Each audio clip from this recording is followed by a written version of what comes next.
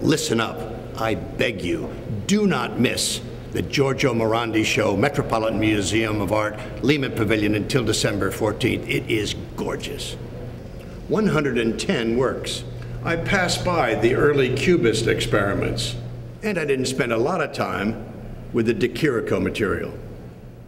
I went to the heart of Morandi, the 1950s. One admiring painter wrote, He paints so tenderly that it's almost as if the paint were the very subject. The paint is thick, like heavy cream or yogurt.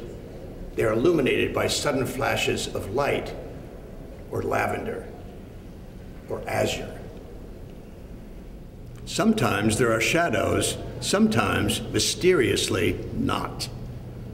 They are serene, peaceful, held together in a tense equilibrium, and spiritual. If there were background music, it might be a Gregorian chant.